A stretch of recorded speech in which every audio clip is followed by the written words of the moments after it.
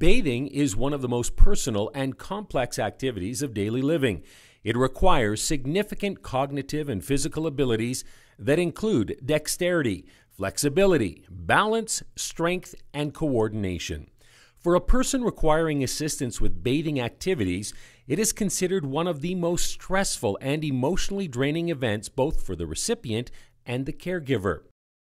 In this short video presentation, we will review why residents may find the bathing experience an unpleasant event, strategies to reduce anxiety and agitation for the resident, the cleaning and disinfecting process of tubs and showers, water temperatures, and the three temperature checks required when providing a bath, shower, or a bath with a rear side opening tub.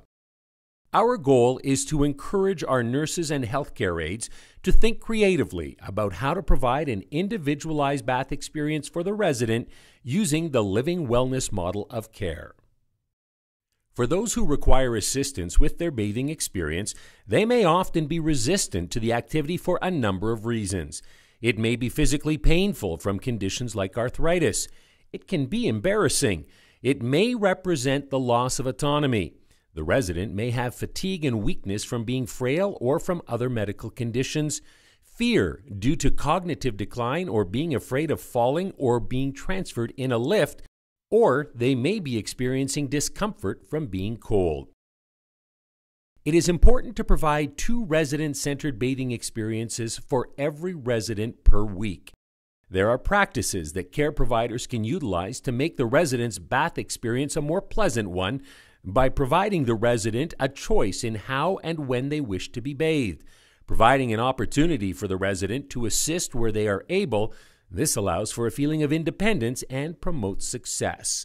Communicating with the resident, telling the resident what you are going to do, constantly reassuring them in a soft, calm voice. Music and or scents that are comforting to the resident, a consistency in the care provider maintaining a person's dignity while keeping them covered as much as possible. Involving the whole care team in interventions and techniques that may promote a more relaxed experience, such as distracting the resident with stories or interesting objects using PRNs or non pharmacological approaches.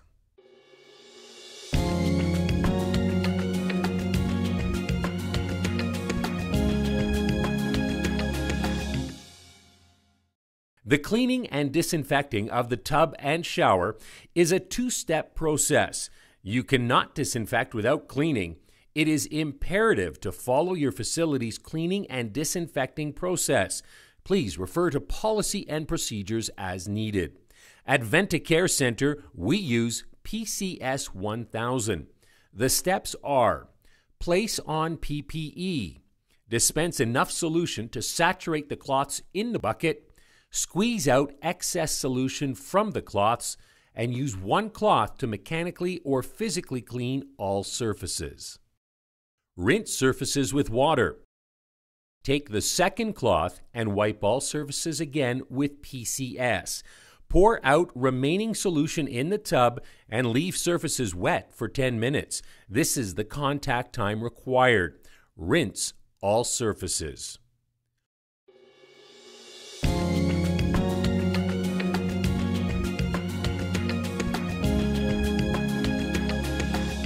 Alberta Health Services mandates three temperature checks and water temperature monitoring. A safe water temperature is between 38 and 43 degrees Celsius. There will be two staff involved in the bathing process. One staff member shall be identified as being ultimately responsible for regulating, monitoring, and recording the temperature for a bath or shower. This is done on the green bath log form found in each resident's toolkit. The three water temperature checks. Bath. The first check is completed while the water is running, using the integrated tub thermometer if available, or using a handheld thermometer. The second check is completed once the tub is filled using the handheld thermometer. The third check is completed immediately prior to the resident entering the bath or shower using the staff member's forearm. If not contraindicated, the resident may test the water as well, Is it good? Feels good. Okay, good. providing feedback prior to entry. Shower. The first check is completed while the water is running using integrated or handheld thermometers. The second check is completed immediately prior to the resident entering the shower using the staff member's forearm. The third check is completed immediately prior to the resident entering the shower and, if not contraindicated, using the resident's unaffected forearm. If this check is not performed by the client, then it is checked using the staff member's forearm. A rear or side opening tub. The first check is completed while the footwell is filling using the integrated tub thermometer if available or a handheld thermometer. The second check is completed while the tub is filling using the staff member's hand to check constantly. In the event the temperatures are not within the mandated range, an out of order sign is placed on the tub or shower and it is not used until it has been fixed and confirmed to be in working order. It is important to follow your federal, provincial, and your governing health body's requirements for all bathing protocols. Make sure to follow all of your facilities policies and procedures. In closing, remember a bath or a shower is a very personal experience. Always promote dignity, independence, preferences, privacy, and above all, safety. It is a privilege to deliver care to the residents with a caring heart and a warm touch. The resident and the resident's family are counting on us to make the resident's experience exceptional.